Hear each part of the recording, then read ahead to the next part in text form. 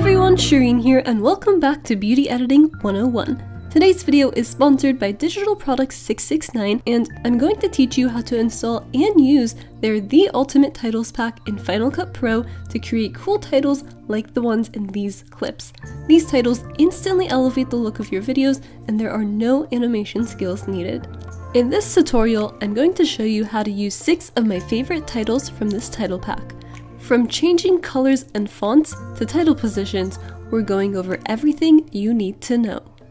Are you ready to start editing like a pro? Let's do this!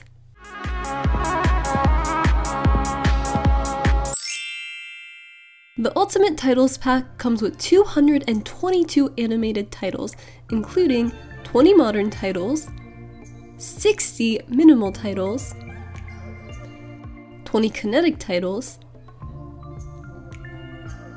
20 broadcast titles, 20 vintage titles, 20 wedding titles, 20 slice titles, 20 retro titles, and last but not least, 20 cartoon titles. A regular license for this pack costs $35, which is a fantastic deal for all the titles you're getting. The download link for this pack can be found in the description box below. After you download the Ultimate Titles pack, find and open the folder in your downloads.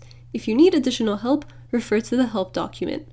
Fun fact, this title pack also comes with a ton of download links for fonts which can all be found in this help document, so definitely check it out.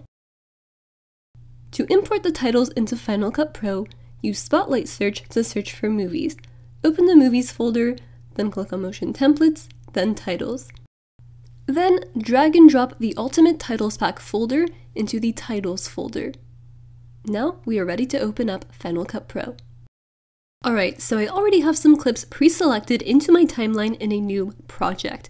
If you don't know how to create a new project, all you have to do is go up to File, New, Project, click on it, and then it'll give you this page where you can put in a title and then press OK to make a new project.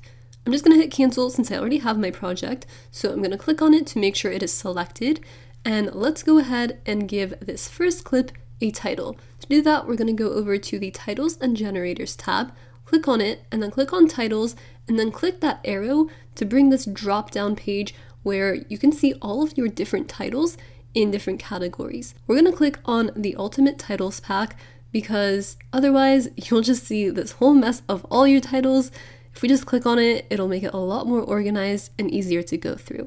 So for this first clip, it's just a basic shot of a microphone, nothing fancy, but we are going to turn this into a fancy intro by adding a title. So I'm going to choose Vintage 03 because I think this one looks really cool, especially for this. You'll see.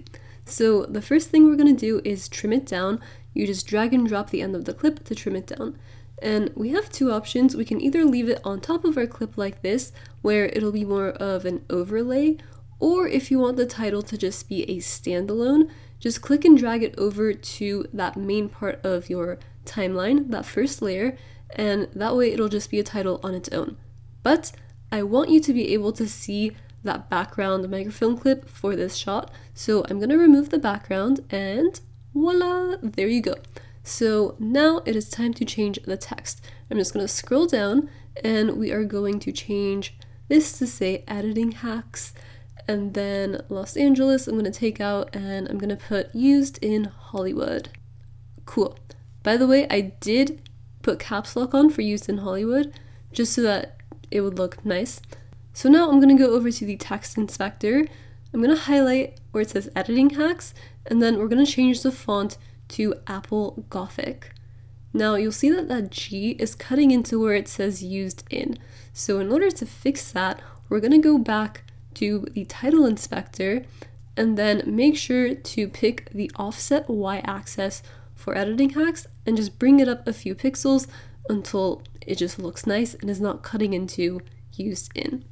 That looks great to me. Now, I'm going to center where it says used in Hollywood because you see how it's kind of like shifted towards the right right now. I'm going to go to the offset x-axis and just bring that over until it is centered. Then for the 1950, I'm just going to remove that because I don't need it for this. I think it looks perfect just like this. But I do want to scale it up a little bit, so I'm just going to mess with the scale until it looks good to me. And then I also do want to change that yellow color to a red, which we are going to get to in a second.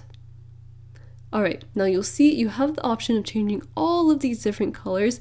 I only want to change that circle, so we're going to change color 1 to this red color, and that is it. It is that easy.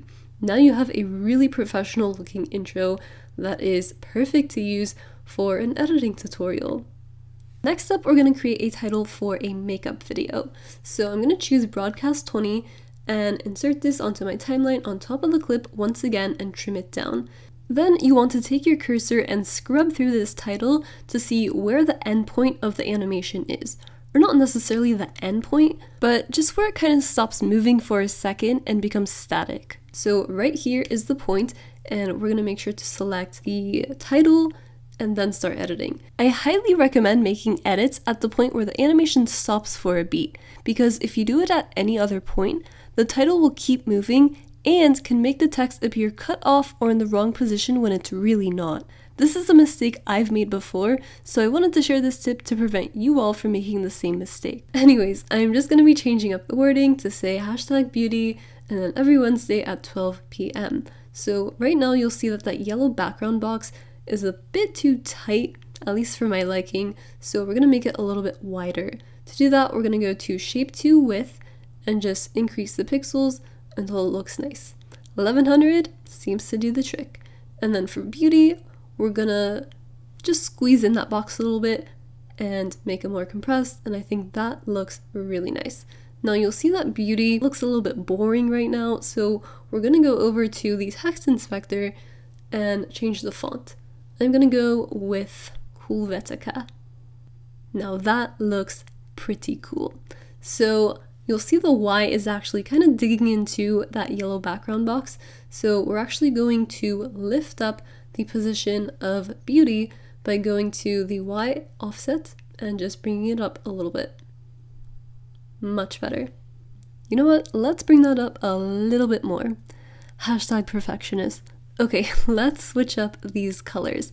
I'm gonna scroll up to the top of this title inspector and double click on that first color for shape 1. Once you do that, it'll bring up this colors window and this will allow you to use the eyedropper tool by clicking on it, and then you can go over whatever color you want on the screen and grab that color. Then drag and drop that color from the colors window to the color that you want to change, where it says shape 1, 2, 3, 4, 5, blah, blah, blah. Then from there, you can drag and drop that color onto the other parameters, and it just makes staying consistent with your color scheme so easy. I'm going with a pink, green, and white color scheme because those are Pixi's colors and Pixi is the brand that is being showcased in these clips. Make sure to give this video a thumbs up if you found this eyedropper and dragging and drop color technique super helpful. Okay, the next thing we want to do is change the image of this lady to an image of makeup. So we have to change the image placeholder for that. You're to click on that down arrow to select a source clip. Now I already placed a clip into my timeline that I want to choose a still from and you'll see I'm scrubbing through the clip right now to figure out which frame I want to use for my image. So I'm to choose one right here towards the end. I really like that one. And then let's just close that colors window, get it out of the way, and then press apply clip. Boom, there you go. Now you have your still image into that circle and it just looks so nice. Like so professional. Now I'm just adjusting the X and Y axes for that image just to center it a little bit and then I'm going to scale it up so that it's a little bit larger and then just make a few more minor adjustments until I have it looking exactly how I want. Side note, you can also use just an image for that image placeholder if you want to. So simply drag in and drop the image into your timeline from your desktop or wherever else it is on your computer and then press apply image. You don't have to pick a still from a video if you don't want to. Okay, now that I'm done being a perfectionist, we're gonna move over this entire title to the left and down because I want it in that bottom left corner. So to do that, we're gonna go over to title position and start to move over the x-axis and then the y-axis. You can also scale it up or down if you want to by using title scale, but I'm just gonna keep it how it is. Gonna make some minor adjustments, and you've got yourself a really nice looking title. For this next clip, I want a title that'll show the name of the product, so I'm gonna be using Broadcast 16. This title is so cool and I just love it. It makes this so easy to do. The coolest part about it is that it has these two anchor points. So I'm just going to trim it down real quick and you'll see what I mean in a sec. So per usual, I'm just going to go ahead and remove the background so that you can see that video.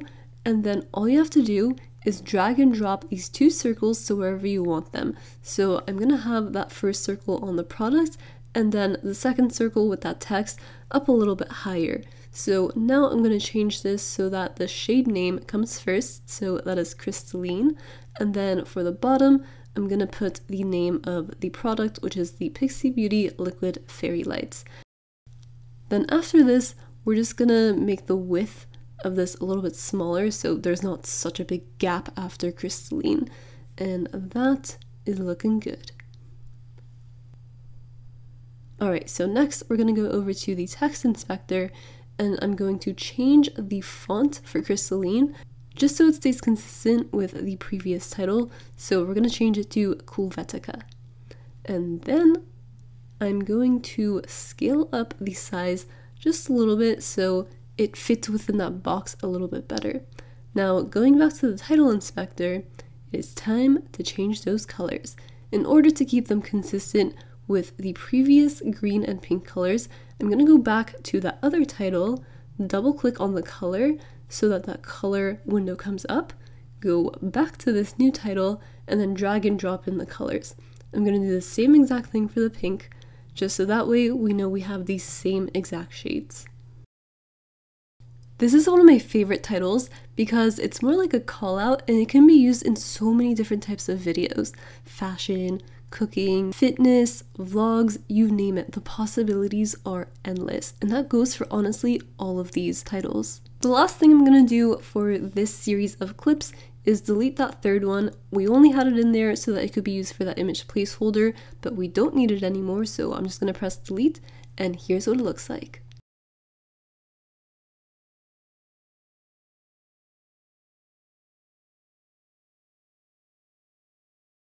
Moving on to these next clips, I'm just going to speed through these because the concepts are relatively the same as far as changing the text, colors, fonts, and all of the different parameters goes.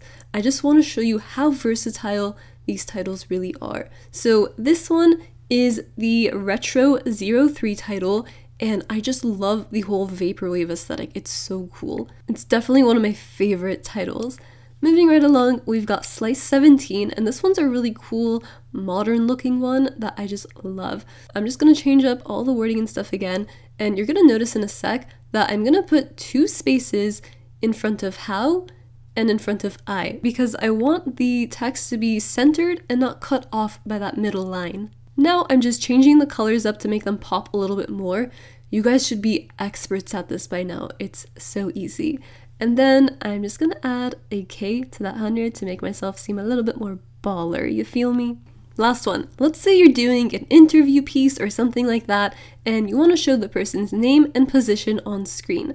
So, Minimal 40 is a really great one for that. There's also different styles within the minimal section for this, so definitely check them out.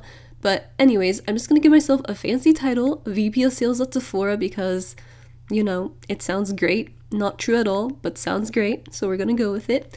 And I'm just gonna adjust the parameters until it looks the way I want it to look. And that is it. These are all so versatile and easy to use. Now you know how to install and use the Ultimate Titles Pack. Make sure to give this video a big thumbs up if you found it helpful and drop a comment down below letting me know what editing tutorial you would like to see next. Thanks again to Digital Products 669 for sponsoring this video. I'll see you all next time. Bye!